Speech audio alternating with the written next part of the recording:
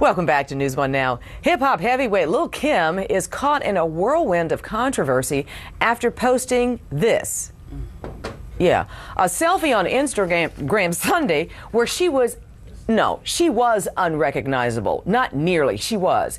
Fans and critics quickly took to social media to give their opinions on the rapper's new look.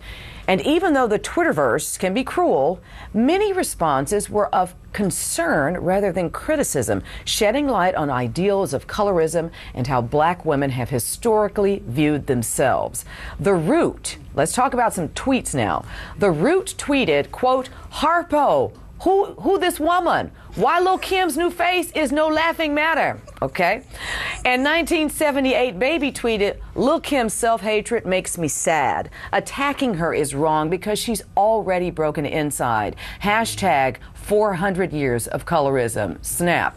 That was me. I added that part. News One Now panelist Dr. Julianne Malveaux tweeted, Quote, My sisters, you are enough. You are more than enough. You are life and overflowing. Someone go hug Lil Kim. I heard that. And then this tweet is from Lex Looper. Lil Kim is an example of how we must encourage black girls and boys to love themselves in a world where we're programmed to hate ourselves. And oddly enough, that tweet mirrored Lil Kim's comments to Newsweek 16 years ago. In a feature article with the magazine, the Queen Bee said, quote, all my life, men have told me I wasn't pretty enough, even men I was dating. It's always been men putting me down, just like my dad. She went on to say, I have low self esteem, and I always have. Guys always cheated on me with women who were European looking. Being a regular black girl wasn't good enough. Just reading this, my heart is just just broken. Joining me on Skype from Durham, North Carolina is Dr. Yaba Blay, Dan Blue Endowed Chair in Political Science at North Carolina Central University, and the author of the book One Drop Shifting the Lens on Race. And still on the panel with us is Dr. Avis Jones DeWeever, uh, David Swerdlick, and Sherilyn Harley Laban, of course. Um, this is just I don't know. I, I mean, I am so, I'm in pain. I'm in pain with her.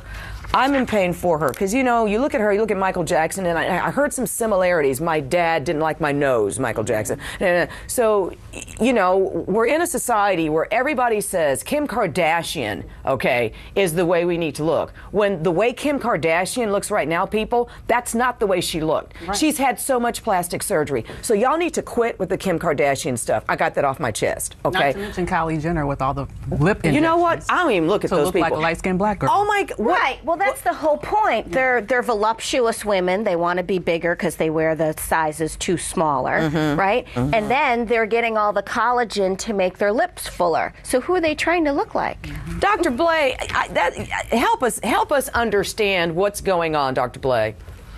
I mean, I think there's a lot going on. Like you, um, I was sad when I saw the image of little Kim on Sunday um, because that's not the Kim that so many of us look to. Mm-hmm. Um, she thinks she's always represented a kind of in your face, unapologetic self love for us.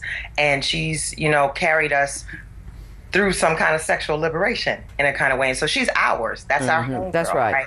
So to see her now, for me, I think it's too easy for us to point fingers and make jokes.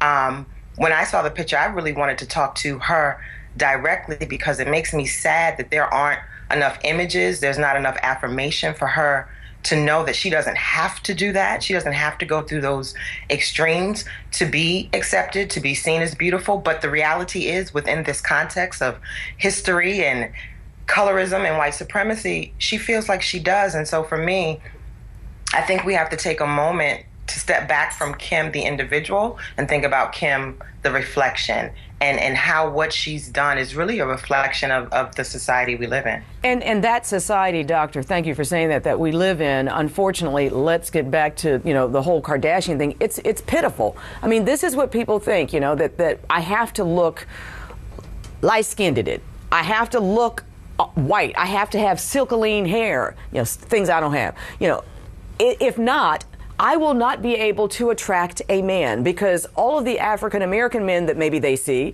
are with Kim Kardashian or with Chrissy Teigen. How do I say her name?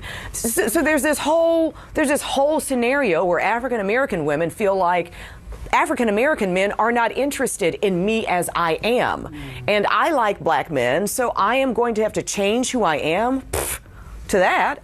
Right. Mm. Yeah. There are a lot of women who, who aren't able to say to that, you know? And so, like in my work in, on skin bleaching, um, in Ghana, particularly, what a lot of the women who bleach their skin say, well, the men are out here saying that they prefer light skinned women. Mm-hmm. And if you want to get a man, mm-hmm. you know, it's just one of those ways mm-hmm. that you do what you got to do to attract him. And so for me, again, we focus so much on the women and act like they should know better. And how could they do this? Like the people who are online asking the questions, how could Kim do this? They might be the same music executives who might require an artist to have not only a light skin, but a racially ambiguous woman in their music videos. Right, or there'll be the the the, the artists who will say, "I only I only want right. Kardashian, or I only want, you know, a woman who looks like them. Kim said herself that she's responding to that. And those are only the kind of physical manifestations, whether it's the bleaching of the skin, or it's the chemically relaxing the hair, or it's wearing contact lenses. Those are physical manifestations. But what about the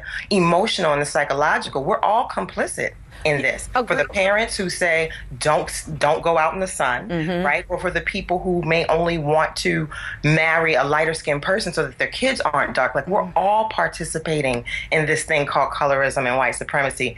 Kim's just manifesting hers differently. And, and, you know, I, I, think the problem that perhaps a lot of African American women, perhaps what we go through, is that, you know, so she's done all of this, but at the end of the day, there are some who believe there are a lot of African American men out there who are simply not interested in black women. So you can go ahead and do all that all you want to, but they are interested in women who are far different looking from us. And like, like I said, the texture of hair is different. You know, their skin color is a- a- lighter than than ours, and so you know, that's very difficult for, I think, for African American women. What, what, what little Kim is going through, I think, is, is, is something that we're all experiencing.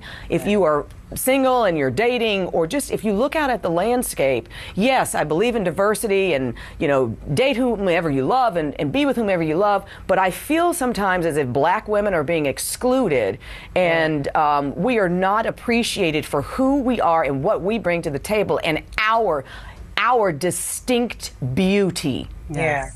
Yeah, and I, and I agree with you, and I think that's why it's so important for us to, you know, I, I try to go bigger and deeper than the just love yourself because mm-hmm. the question is always, what does that look like right. and how? So for me, you know, it's why I do the work that I do in terms of trying to put images out, um, beautiful images out of ourselves so that we can see ourselves reflected because I think if there's anything for us to learn from Kim also as women it's that no matter what amount of changing you do like you can change the exterior but how do you feel inside that still reflects we're seeing pain yes we are right. Dr. Dr. Yaba Blay uh, with uh, at North uh, Carolina Central University she has a book that I think we need to check out called One Drop Shifting the Lens on Race. Thank you so much. Kickstart your day at 7 and get the news you need from the perspective you want.